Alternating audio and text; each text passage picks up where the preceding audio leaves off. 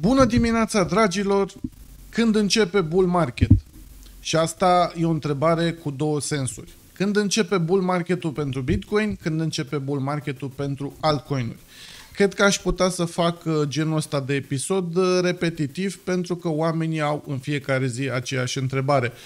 Uh, de fapt sunt două întrebări. Atunci când piața cade, este începe bear market? Nu.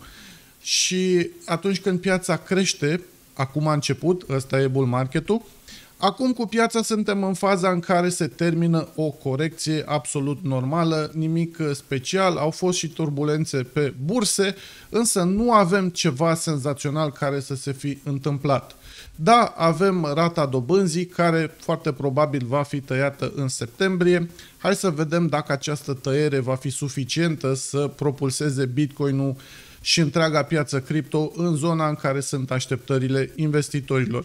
Am să vă arăt din nou la ce trebuie să fiți atenți ca să înțelegeți dacă începe uh, bull marketul, plus că vreau să trag un semnal de alarmă. Uh, venim după șase luni în care piața a fost așa într-o pantă descendentă și foarte mulți dintre voi ați făcut DCA, Dollar Cost Averaging, adică ați încercat să cumpărați și mai ieftin și mai ieftin și mai ieftin, să scădeți media. În momentul în care piața va începe să urce parabolic, da? atunci nu mai merge jucăria asta și o să vă arăt pe grafic cam care este pericolul. Uh, am discutat asta ieri la consultanță cu cineva și vreau să o împărtășesc și cu voi, pentru că să zic, dacă aș vrea să fac consultanță și să ajut cât mai mulți oameni, mai mult de doi pe zi nu pot. Așa, dacă arăt public, ă, ajut ă, câteva mii de oameni. Cum identificăm când începe bull marketul pentru Bitcoin? În primul rând am ales un frame mare o săptămână, da? Și aici vreau să vă arăt așa. Linia asta curbată albă este valoarea medie pe 20 de săptămâni. În primul rând, da, Bitcoin trebuie să revină peste această medie, peste 61.200 și să închidă măcar o săptămână. Asta este un semn de recuperare și potențial final de trend descendent. Nu înseamnă că începe bull market Vorbesc de semnul de recuperare din situația în care ne aflăm acum. Am să vă menționez și scenariul negativ, pentru că trebuie să știți. Dacă Bitcoin coboară sub această linie galbenă pe o săptămână, da? Poate fi semnal de început de bear market. Da? Ați auzit bine. Poate fi semnalul începutului unui bear market și atunci înseamnă că 73.000 whatever a fost vârful de piață. Bun, hai să dăm drumul și la desene. Hai să-l facem așa. Da. Deci v-am spus că avem acest 20 moving average, hai să ascundem asta și să rămânem doar pe desen, pe grafic. Linia galbenă este rezistența din ultimile 6 luni. Da? Zona în care piața vrea să ducă în sus spre un nou all-time high, nu s-a putut. Bun? Deci, 68.700,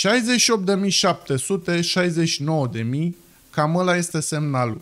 Dacă piața reușește să spargă această zonă, da? Să zic mai vine așa, vine așa, da? Dau un exemplu, că el așa pe grafic ce am desenat, eu zice până în martie, da? Nu cred că va fi cazul. Dar, să zicem, în clipa în care sparge zona asta galbenă, da? în clipa în care trece de 73.500, 600, cât a fost vârful, e nevoie măcar o săptămână să stea acolo. Da? El e posibil să se ducă 77, 78, 80, să se întoarcă, să confirme zona de 70 suport și așa mai departe. Da? Dar există riscul să se ducă parabolic. Și acum vreau să vă arăt de ce există un risc pentru cei care vor încerca să facă DCA, Dollar Cost Averaging. Da? Pentru că, haideți să vă arăt un pic aici, asta mă interesează. Vedeți? În clipa în care sparge o rezistență puternică, el se duce parabolic. Iar aici, în prima urcare, face o corecție de 4%, da? Oamenii se pot păcăli, crezând că oh, o să vină o corecție de asta, cum a fost până acum. Toate aceste zigzaguri ne obișnuiesc cu corecții de genul ăsta. Cum e asta? 23, 24, da? În clipa în care noi ieșim din zona asta de 70 și ceva, eu vă zic că e o probabilitate foarte mare să nu mai avem corecții de genul ăsta. Bun, hai să vedem când începe bull marketul pentru altcoinuri. Uh, asta este valoarea totală a pieței, maximul atins în 2024, da? Și asta este o rezistență ce vedeți aici cu roșu, da?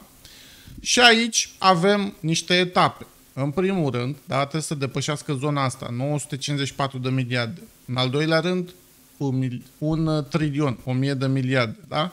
2. A treia rezistență, 1,2 trilioane, 1200 de miliarde. Și într-un final, asta, da?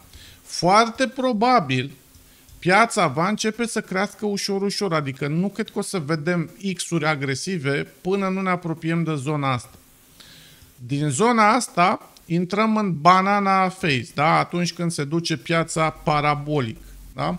Și estimez că ar putea să facă de aici un fel de hâț, gen cam așa. Nu știu unde se va opri. Ideea este că dacă piața face treaba asta, de aici până aici, foarte multe proiecte vor face ușor 3x, 4x. Da? Acum, întrebarea se pune, vom avea acest scenariu pentru altcoinuri anul ăsta? Este o întrebare bună, iar eu zic că avem o probabilitate undeva la 45%, 40% să se întâmple treaba asta. Prefer să fiu mai conservator decât să fiu mega ultra optimist. Da? Uh, dacă nu știți să vă puneți ăsta, îl găsiți la, dau cum vi-l arăt eu, Crypto Total Market Cap, excluding Bitcoin. Da? Pentru că aici valoarea asta de 819-820 de miliarde este valoarea întregii piețe cripto, exceptând Bitcoin. Da? Valoarea totală a pieței cripto este de 1,9 trilioane, aproape 2000 de miliarde. Vârful atins a fost de 2750 de miliarde în martie 2024, iar vârful total a fost aproape na, cu 1000 de miliarde mai sus decât suntem acum. Mă aștept în acest ciclu da, să depășim acea valoare. Adică la câți oameni sunt în piață acum, mă aștept să se întâmple treaba asta. Stați un pic că s-a blocat mouse-ul. Deci asta mă aștept, să se întâmple treaba asta.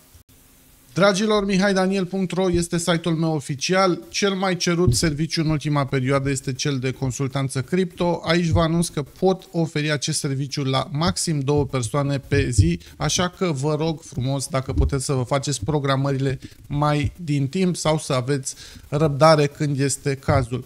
Uh, ședințele durează o oră în care vorbim despre piața cripto, portofoliile voastre. Nu sunt sfaturi financiare, sunt doar discuții, da? adică nu vă zic cumpără moneda cu tare că o să facă un miliard X, sunt discuții despre portofoliu, despre câte monede aveți, despre planul pe care îl aveți, despre ce așteptări aveți de la piață și așa mai departe. Uh, încă o dată, mihaidaniel.ro Vă doresc o zi minunată, poftă bună la cafea, aveți grijă de voi!